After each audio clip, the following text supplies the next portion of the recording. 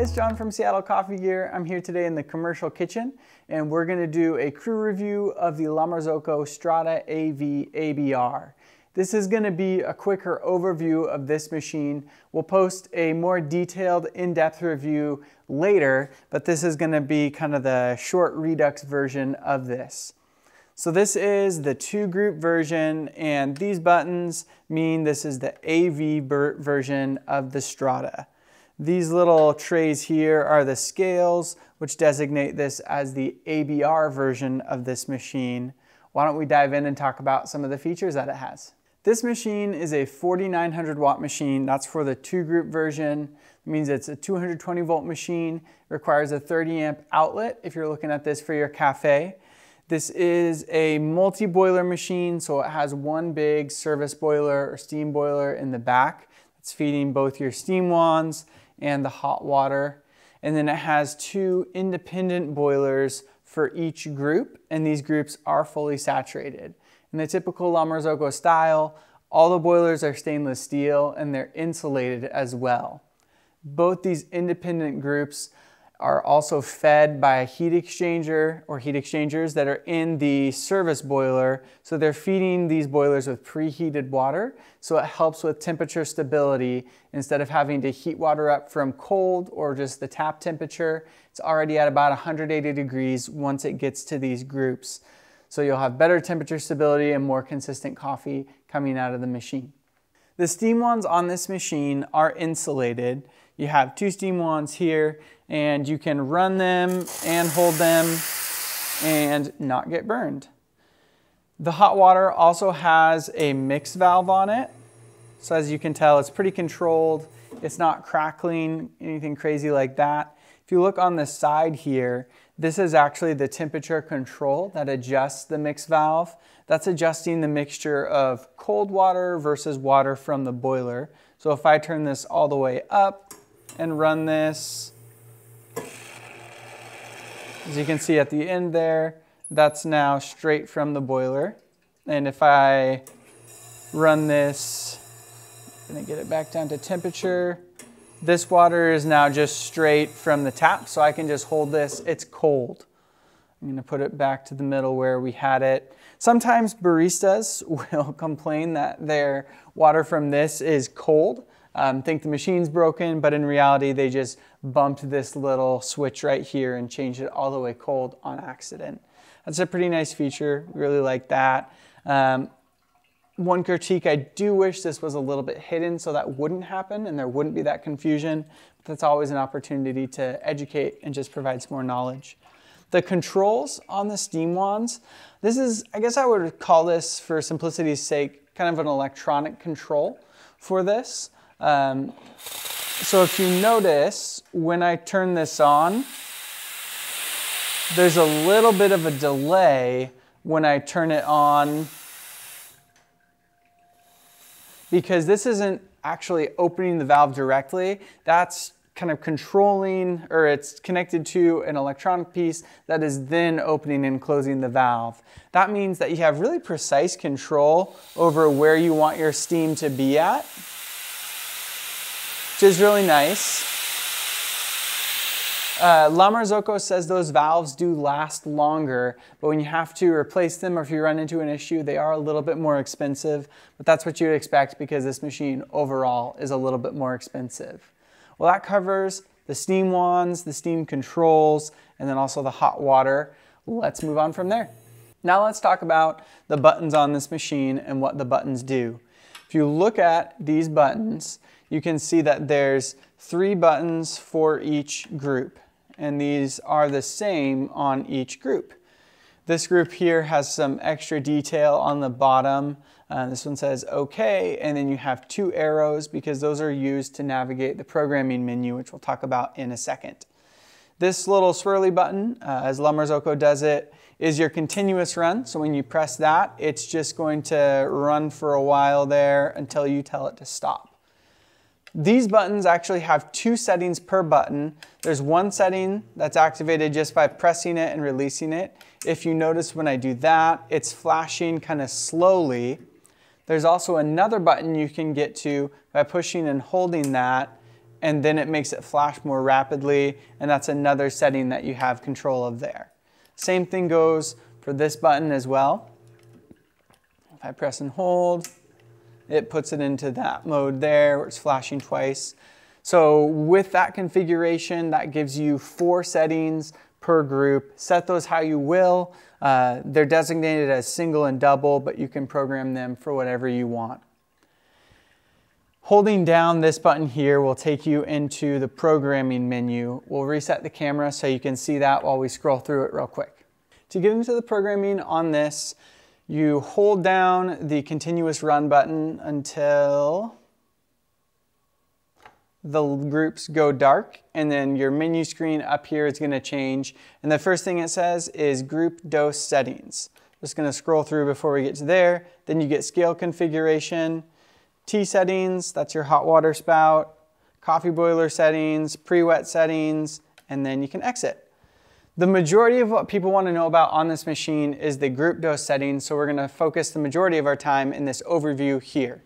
Once you click OK there, that takes you to this menu, which has plenty of options in here.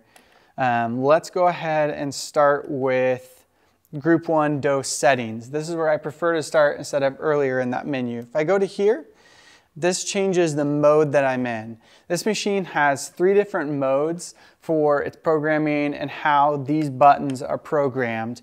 The first mode is by pulses. That's your traditional volumetrics. The flow meter in there counts how much water is passing through it and then stops at a certain point, whatever you program it to. And that's counting the number of times that that flow meter turns in a circle. The next option here is mass. That's going to be through these scales here. So you can tell the machine that you want your shot to stop at 32 grams and you can program this button for 32 grams, uh, this button for 36 grams, and it's gonna stop at wherever you are there. The last mode is brew ratio, which is a pretty cool mode.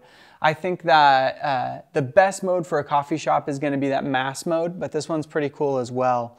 So what this does is instead of um, counting how much water is flowing through, instead of counting what the output weight is, it actually calculates your output weight based on what your input weight is. So I'm gonna save this back to mass and I'm going to go into my second group here because I have this set to brew ratio. So if you look here, it's group two, button one. So button one on the second group, I have a brew ratio of one to 1.6. For the sake of math, I'm actually gonna change that to 1.5 because it'll make this a little bit easier to understand here. So if I say to the machine that I have 20 grams of coffee from my grinder that I'm brewing and then put it in and press button one, it's going to give me 35 grams of espresso or 30 grams of espresso out because it's taking that 20, multiplying it by 1.5 to get 30 out. It works really well in theory, um, and if everything is re kept really clean, it works very well. Uh, if you don't respect the tare times and if you have water draining or your portafilters aren't matched in weight, this can get a little bit inconsistent. So that's why I say most shops are gonna work with just the mass mode. And we'll delve more into that in the detailed review that'll come out later. But for now, um, that's all you need to know. One cool trick with the programming here, if you ever need an escape button, you're deep in the menu, you can't remember how to get out, the continuous run and the button 2 will take you out of there. And there we go, we're back to the main menu. That covers a lot of the basic functions of this machine. Um, why don't I go ahead and pull a shot. All right, I'm gonna do what I've been doing, which is a cappuccino and espresso just split so I can taste both and give you guys an idea how both of those are tasting. Um, I'm still drinking this Triborough from Victrola, just enough left actually. Just kidding, we're gonna do the Maya Blue from Toca Coffee Roasters and let's go for it.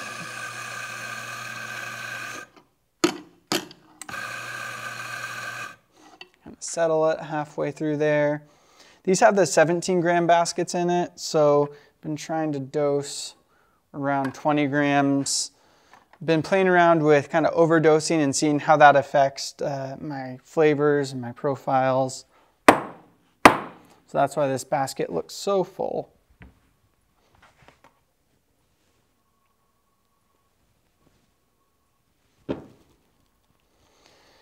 And I'm just gonna run this on the continuous run mode.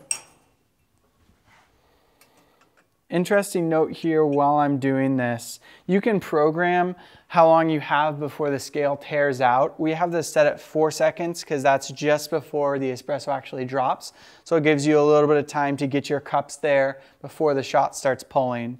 So I'll do that and you'll notice, you might not see this, but it flashes until it tares um, and it tared just before that shot dropped, which is exactly what I wanted.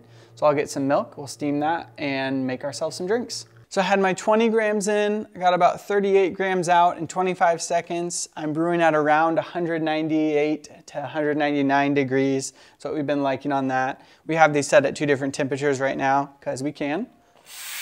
Let's go ahead and steam some milk on these Cool Touch wands.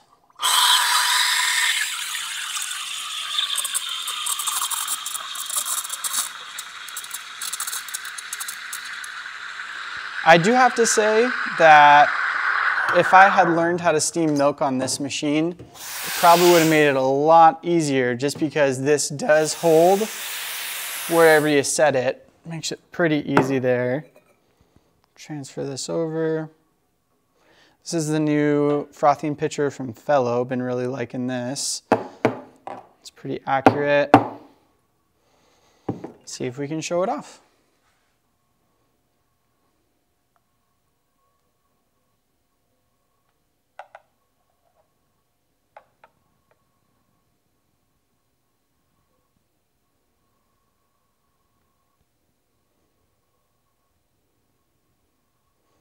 Oh, I just ran out.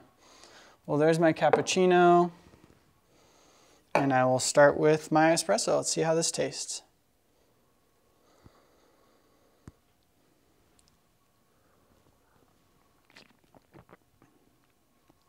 That's pretty good. Uh, the chocolate really comes through on the back of that. A little bit of like orange, a little bit of citrus in there, maybe some nuttiness like a hazelnut. Pretty tasty.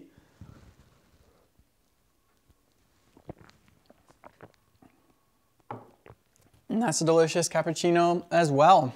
Well, this machine is a great machine. It's definitely one of the halo espresso machines out there, the machine that people see um, in really nice cafes, really high-end cafes. Its price tag definitely reflects that. You do get a lot for that money in just the programming, the temperature consistency, little things like your steam wands uh, and how easy those are to work with. You also get that mix valve for the hot water. That being said, I do think there are a couple things I wish were different. Um, namely, the location of this hot water button is a little bit frustrating because everything else is so barista centric. Then you have to reach over there. This can get hot. You don't burn yourself, but it's a bit of a shock coming from these and the steam wands, which are nicely insulated. Um, the drip tray we've noticed is a little bit hard to remove as well and tends to collect a little bit of coffee grounds. It's really only an issue at the end of the night and reminds you to clean anyways. So other than those few things, we've been really liking this machine. Look for that detailed review to come out soon. If you want to be notified of when that comes out, subscribe to the channel and uh, get those notifications as well. If you have comments or questions, you want us to cover something in that next video, leave those down below. Thank you guys so much for watching. If you have questions about coffee equipment or want to open a coffee shop, give us a call. We'd love to talk with you about that. I hope you guys have a great rest of your day. Thank you again for watching.